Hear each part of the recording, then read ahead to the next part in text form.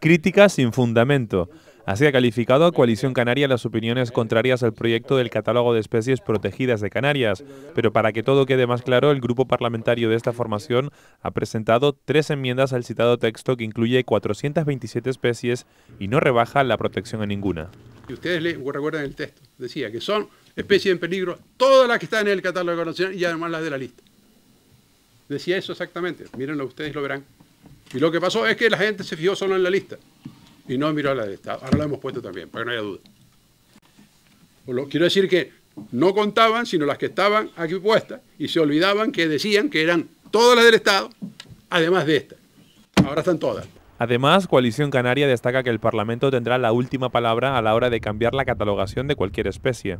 Cuando se intenta descatalogar tiene que venir hasta el Parlamento de Canarias el, el informe, la razón y la justificación de por qué se hace. El portavoz nacionalista asegura que se ha contado no solo con los técnicos del Gobierno de Canarias, sino con todos aquellos que se han dirigido a su grupo en el periodo de elaboración, informes de la universidad y algunas asociaciones científicas. Coalición Canaria asegura que el catálogo propuesto mantiene la máxima protección de los cebadales que se encuentran en lugares de interés comunitario, como los de Granadilla en Tenerife.